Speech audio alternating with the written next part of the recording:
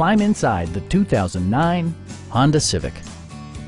This two-door, five-passenger coupe still has fewer than 60,000 miles. Honda made sure to keep road handling and sportiness at the top of its priority list.